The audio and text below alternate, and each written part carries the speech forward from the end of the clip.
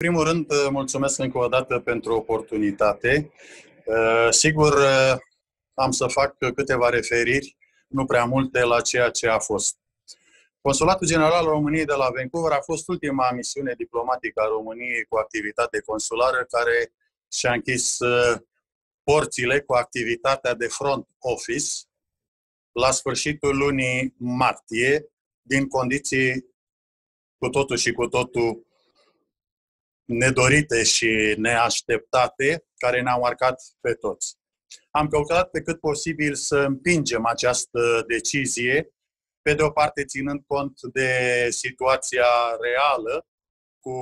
coronavirusul și cu aspectele de pandemie, cu măsurile care trebuiau luate atât de către autoritățile provinciei British Columbia, dar și de celelalte autorități care sunt în uh, provinciile care se găsesc în jurisdicția consulatului. Cert este că am căutat pe cât posibil ca în perioada de după martie să rămânem în contact cu cetățenii care au într-adevăr în regim de maximă urgență nevoi a fi rezolvate și am avut până astăzi 181 de cazuri pe care am căutat să le rezolvăm cu calm, cu înțelepciune, cu profesionalism, cu dăruire și cu credință că facem bine pentru cetățenii care se află la ananghie și care au nevoie neapărat de serviciile consulare. Sigur, ne-am asumat și riscurile până la urmă de natură personală, dar pe baza unui sistem relațional deosebit și a unei uh, corespondențe zilnice cu autoritățile canadiene, cu cei de la Victoria, cu primarul din Vancouver, cu autoritățile din Vancouver, de asemenea cu cei din Alberta și Saskatchewan. Iată că am reușit de bine de rău să dezamorsăm acea presiune și să soluționăm în timp util niște solicitări, inclusiv de deplasare, inclusiv de eliberarea unor acte și documente absolut necesare pentru a-și reglementa unii cetățeni situația lor limită de ședere legală pe teritoriul Canadei, pentru work permituri, pentru alte vize de studii sau, uh, hai să spunem, chiar și un deces și de transfer a unui uh, corp neînsuflețit în uh, România. Sigur, front office-ul nu a putut să lucreze, dat fiind faptul că și clădirea în care se găsește consulatul a fost închisă, sau la măsurile de rigoare, dar uh, noi am intuit într-un fel și am încercat pe cât posibil ca să nu mai existe o presiune majoră atunci când efectiv va începe activitatea funcțională de front office de la consulat și începând cu data de 1 mai, telefonic, în special pe cei care deja aveau aplicațiile introduse online pe portarul econsulat.ro, să încercăm treptat, treptat, prin culoarul și filtrul uh, sanitar respectiv, cu luarea tuturor măsurilor de protecție, să-i chemăm și să le rezolvăm. Și iată că avem deja vreo 60 de Uh, persoane pe care le-am uh, rezolvat până uh, azi. Important este ca să vedem cum avem de rezolvat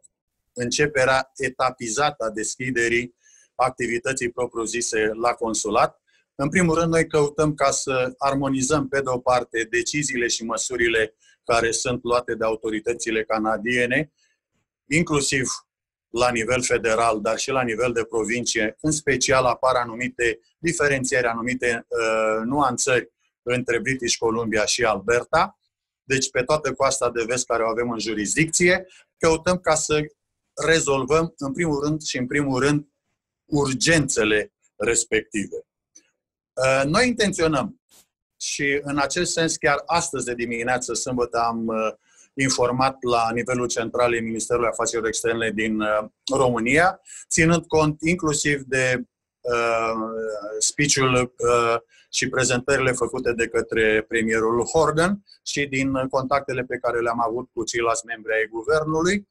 uh, ca pe data de 19, deci după long weekend-ul ca atare de Victory Day, uh, să începem activitatea. Noi ne arătăm disponibilitatea de a începe activitatea de la ora 8 de dimineață până la ora 3 după masa, de luni până joi. Repet, noi suntem nevoiți nu neapărat de presiunea cererilor ca atare, dar în același timp programul de funcționare și de acces al cetățeanului în buildingul, în clădirea în care se află sediul consulatului, trebuie să uh, ținem cont de măsurile de protecție. Vor exista anumite filtre de natură sanitară, mai mult ca sigur că se va impune purtarea măștii și poate chiar a și mânușilor.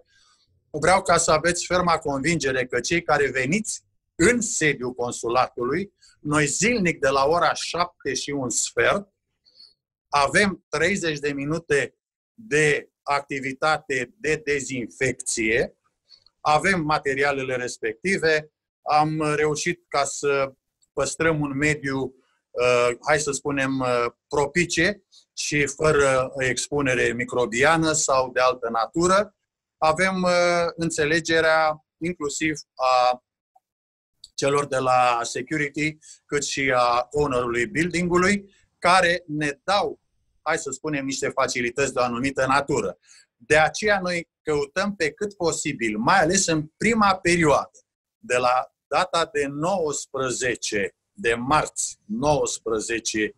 uh, mai, până la finele lunii, să rezolvăm acele cereri care le avem deja introduse în sistem și care vrem nu numai aspectele legate de aplicațiile de pașapoarte, dar în primul rând de procurile de pensie. Vreau ca să existe o înțelegere nu numai din punctul nostru de vedere a unor situații, dar inclusiv a celor care uh, vor să vină mai repede sau să sară peste rând. Haideți să ne gândim la cei mai în vârstă care au nevoie de aceste procuri de pensie în România. Noi încercăm ca în aceste două săptămâni, până la finele uh, uh, lunii uh, mai, deci din 19 până în, la finele lunii mai, să ne axăm pe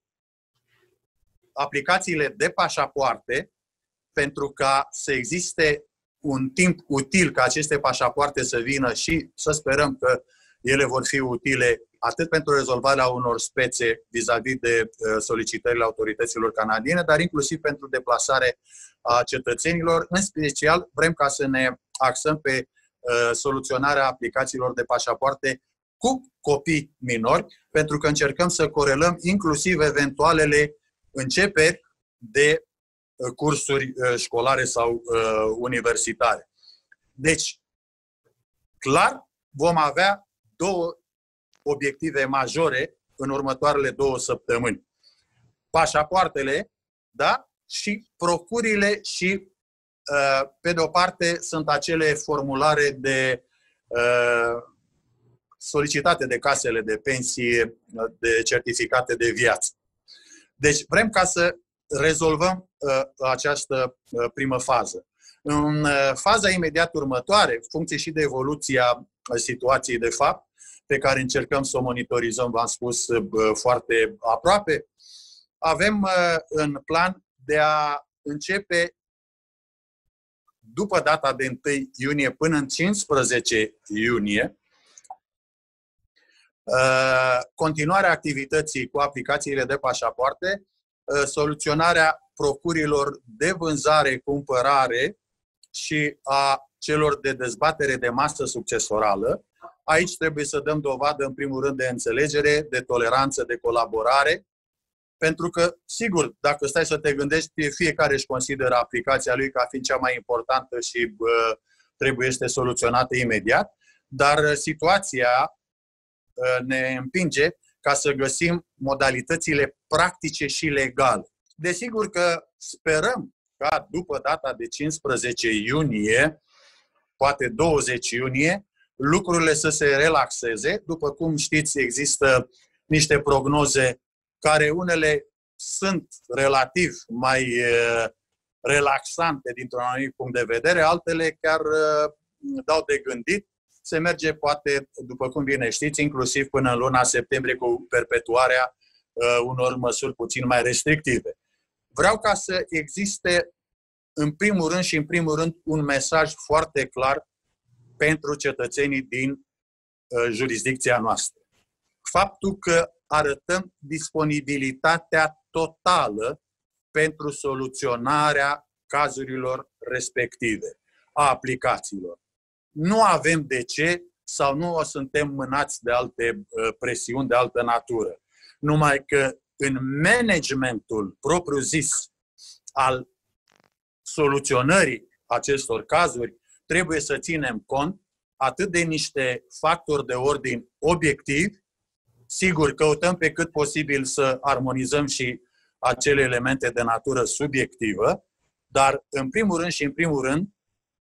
să nu uităm că suntem cei care trebuie să fim precum degetele de la o mână, uniți oameni care suntem cu responsabilități și maturi, care am trecut prin această încercare cu totul și cu totul atipică, specială în viața noastră, de natură existențională, că nu are rost să ne amăgim sau să ne, știu eu, gratulăm într-un fel sau altul, pentru că, efectiv, cei patru care suntem și ne bucurăm că, iată, prin măsurile pe care am le-am luat uh, în timp. Și noi suntem oameni și mai ales am fost expuși zi de zi, vreau ca să vă spun că